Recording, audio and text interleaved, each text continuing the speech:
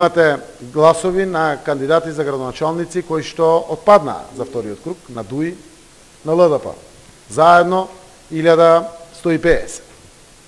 А сепак водиме во Ресен и влезени сме први. Или во ево во некои општини и други да ги кажем. Во Гевгелија, ЛДП, Виктор, кандидатот, Випро, ни одземи сериозен број на гласови. Тоа се наши гласачи, на нашата коалиција.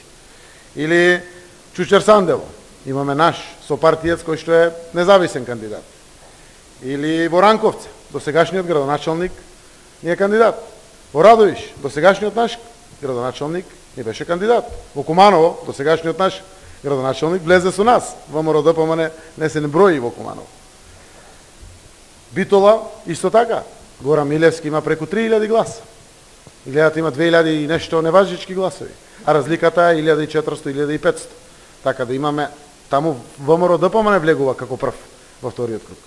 Имаме целосно право да се надеваме како прогресивни гласови, така да ги кажеме, секако и повикот до голем дел од наши традиционални гласачи кои што станаа дома овој прв изборен круг, навистина ќе бидат од помош за да продолжи прогресивниот аспект во државата, наспроти нашиот опонент.